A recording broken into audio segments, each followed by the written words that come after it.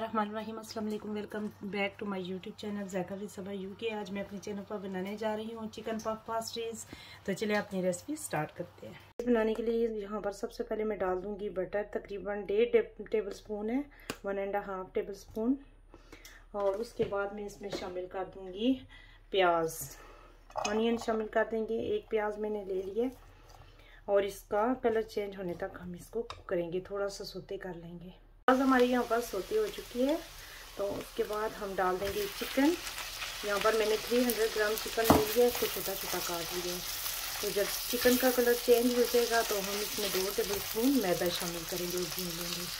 जी यहाँ पर चिकन का कलर ऑलमोस्ट चेंज हो चुका है, इसमें शामिल कर दूँगी टू टेबल स्पून मैदा, यानी कि प्लेन फ्लावर और इसको तकरीबन मैं तीन से चार मिनट के लिए भून लूँगी, ताकि मैदे का कच्चापन जो है वो ख़त्म हो जाए। यहाँ पर मैदे के साथ मैंने चिकन को भून लिया है। अब मैं इसमें शामिल कर दूँगी तकरीबन। पहले हम दो कप दूध डालेंगे, अगर ज़रूरत पड़ी तो फिर ज़्यादा डालेंगे और इसको हम अच्छे तरीके से थिक कर लेंगे। देखिए यहाँ पर मिक्सचर जो है वो थिक होना शुरू हो गया है। तो अब मैं इसमें ऐड करूँगी one teaspoon black pepper powder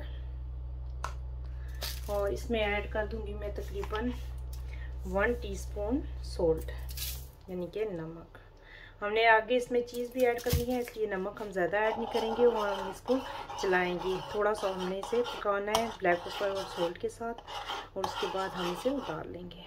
इसमें सीजनिंग जो है, सिर्फ़ हमने दो ही डाले हैं सोल्ट और ब्लैक पेपर इससे बहुत अच्छा टेस्ट आता है। अगर आप चाहें तो आप इसमें वेजिटेबल्स भी ऐड कर सकते हैं, जैसे ब्रोकली होगी पीज़ होगी कैरेट्स होगी, आप ऐसे भी ऐड कर सकते हैं। तो हमारा सोच यहाँ पर जो है वो थिक हो गया देखिए। तो आप विस के साथ इसको मुसलसल चलाते रहें ताकि इसमें लम्स ना बने, गुठलियाँ ना बने। अब मैं इसको तकरीबन दो से तीन मिनट और पकाऊँगी और उतार लूँगी। इसी दौरान अगर आप हमारे चैनल पर नए हैं तो प्लीज़ हमारे चैनल को सब्सक्राइब कर दें लाइक कर दिया करें। इससे बिल्कुल आपके पैसे नहीं लगते हैं, ये चैनल बिल्कुल फ्री है। यहाँ पर मैंने पफ पास्ट्री ले लिया है तो शीट है पफ पास्ट्री की, इसको हम बेल लेंगे। इसको ऊपर से आपने ऐसे बेलना है, बेलते जाना है। और फिर आपने इसकी साइड जो है चेंज करनी है, ये बेली बेली होती है असल में रोलिंग पिन के साथ। इसको जितना आप बड़ा करना चाहें करें उसके बाद हम इसकी कटिंग करेंगे। तो मैंने एक जो है वो शेपर ले लिया है तो आपने ऐसे इसकी जिस मर्ज़ी है टाइप की आप जो है वो शेप बनाना चाहें, बना सकते हैं। मैं ऐसे काट लूँगी।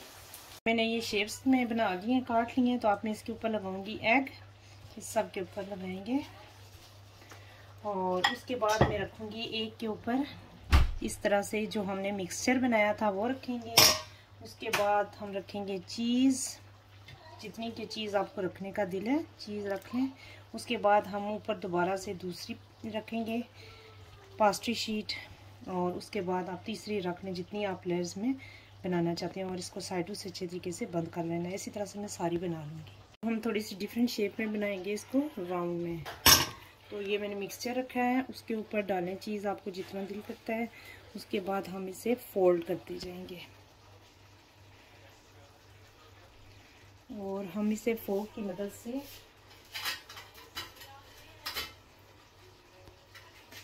फोक की मदद से इधर से आप ऐसे शेप बना लें। दोनों साइड से।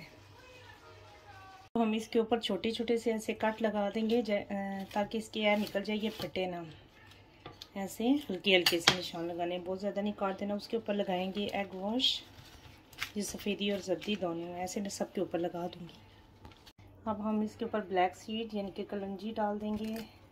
थोड़ी थोड़ी साथ में ये मेरे पास सीसम सीड्स हैं, यानी कि तिल हैं, ये डाल दूँगी। आप जो चाहें सीड्स डाल सकते हैं इसके ऊपर। और इसे ओवन में बेक होने के लिए रख दूँगी। यहाँ पर पास्ट्रीज बनकर रेडी हो चुकी हैं तो ये है इनकी फाइनल लुक अगर आपको हमारी रेसिपी पसंद आई तो प्लीज़ हमारे चैनल को सब्सक्राइब करें लाइक करें फ्रेंड्स और फैमिली के साथ शेयर करें। चलती हूँ, दुआओं में याद रखिएगा। अल्लाह हाफिज़।